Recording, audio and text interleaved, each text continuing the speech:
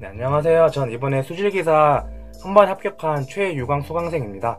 이제 저 같은 경우는 이제 4학년 2학기 졸업을 앞두고 있는 학생이고 학점이나 스펙이 약간 좀 부실해서 취업을 하기 위해서라도 꼭 이 자격증 꼭 필요했는데 고경미 강사님 덕에 단번에 합, 합격할 수 있어서 되게 행복한 합격생입니다. 이제 시험 난이도 같은 경우는 필기랑 실기 둘 다 어느 정도 나뉘고 있다 생각해요. 필기 같은 경우는 준비 기간이 한 달 약간 안 되게 28일 정도? 그 다음 실기 같은 경우는 2주 약간 넘게 잡았는데 딱 적절했던 것 같습니다. 그리고 각 과목별로 보면은 개인적으로 필기 같은 경우는 개론과 방지 기술은 전반적으로 쉬웠고 그 다음에 어려운 문제도 기출에서 응용되는 정도여서 충분히 할 만하다 생각합니다. 그 다음에 상하수도 개요 같은 경우는 좀 꼼꼼히 공부했는데도 신유형 문제가 두세 개 나와서 고득점은 좀 아쉽게 못했고 그 다음에 공정시험과 법규는 처음 본 문제가 꽤나 나와서 되게 아슬아슬했던 것 같습니다. 추천한 공부법에 대해 말씀드리자면요. 일단은 방지 기술과 개요는 꼭 100점 맞는다는 마인드를 임해야 할것 같습니다.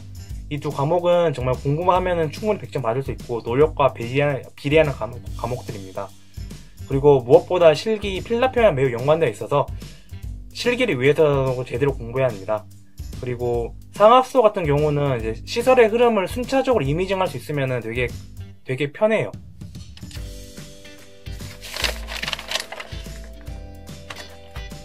정말 딱 이 정도만 개념을 잡아도 충분히 고득점 할수 있고 이 과목 같은 경우는 비슷한 이름이 되게 많이 헷갈리는데 그거만 잘 잡을 수 있으면 되게 편합니다.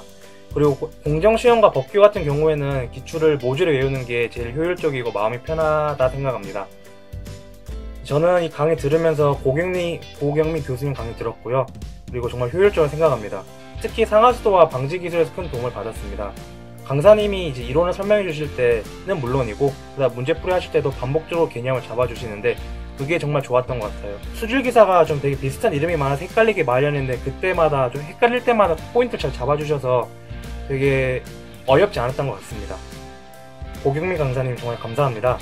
군더더기 없고 핵심과 포인트만 잘 잡아주셔서 단기간에 좀 짧게 합격할 수 있었고요. 그 다음 이번 시험 떨어졌으면 되게 슬프고 좌절했을 것 같은데 다행히 그런 일이 있지 않아서 정말 감사합니다. 그리고 앞으로 전국에 있는 많은 수강생분들 단기간 합격할 수 있도록 꼭 꾸준히 오래 가졌으면 되게 감사하겠습니다. 그리고 수십 번 말해서 부족한데 이번 합격할 수 있어서 정말 고맙고요. 정말 감사합니다. 이 공부를 하다 보면은 약간 좀 지칠 수도 있고 슬럼프도 올 수 있는데 아무래도 좀 뻔한 말이긴 하지만 꾸준한 암기와 노력이 합격하는데 제일 좋은 방법이라 생각합니다. 그리고 필기 합격 이후 필라 평가 약간 한 달 정도 그리고 작업형은 빠르면 하루에서 길면 10일까지 있는데 필기 합격은 하루 정도로 만끽하시고 그 다음에 실기 임하면 충분히 합격할 수 있으라 충분히 믿습니다.